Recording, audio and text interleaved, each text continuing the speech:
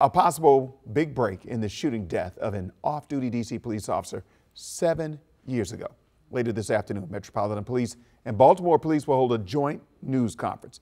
The Baltimore Banner is reporting the agencies will share news about an arrest made in that killing. The shooting happened in Baltimore back in 2017. Police say a man shot D.C. Sergeant Tony Mason Jr. and a woman while they were sitting in a parked car. Mason Jr. died from his injuries. Today's news conference is set for 1.30 in Baltimore. We will follow today's announcement and tell you what police say later this afternoon.